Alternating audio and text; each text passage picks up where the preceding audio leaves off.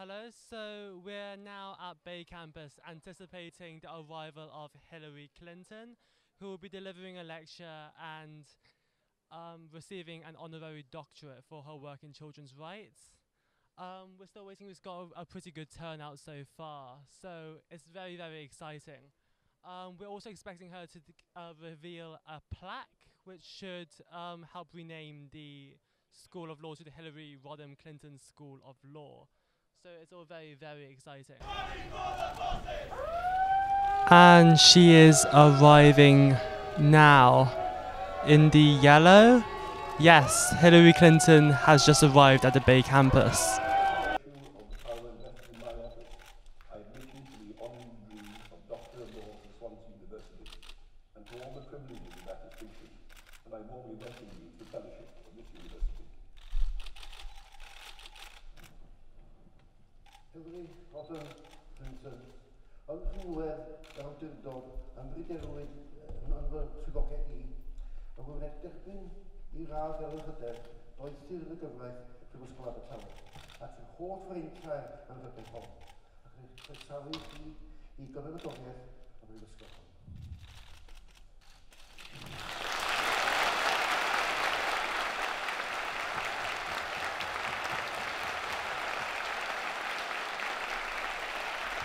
And it's official, Hillary Rodham Clinton is now a graduate of Swansea University.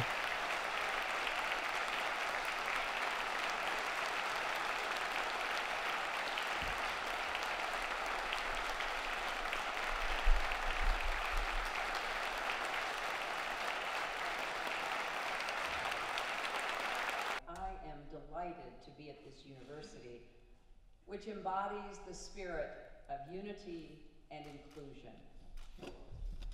There is much that sets Swansea apart, like your world renowned professors, your commitment to diversity, and a learning environment which tries to give every student the chance to thrive.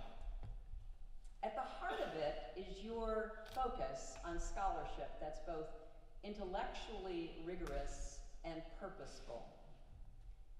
Swansea students don't seem to be the kind of people who are content simply to sit in classrooms talking about how to make people's lives better, but are in fact eager to go out into the world and do it, as the observatory certainly exemplifies. You are scholars after my own heart. And it means the world to me that you've chosen not only to confer this honorary degree upon me, but to name this law school after me.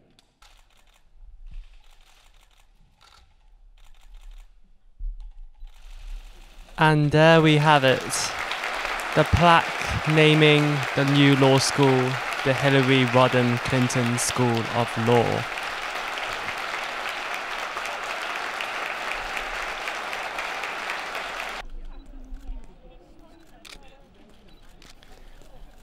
And we have Hillary Clinton now walking out with the Vice Chancellor and Professor Elwen Evans,